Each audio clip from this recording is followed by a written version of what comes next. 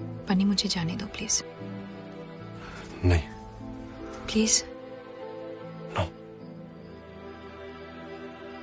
पनी मैं सिंपल लड़की हूँ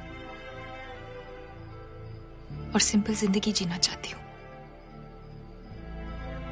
तुम गलत नहीं हो। बस मुझसे बहुत अलग हो। छोड़ो मुझे प्लीज़ नहीं छोड़ सकता।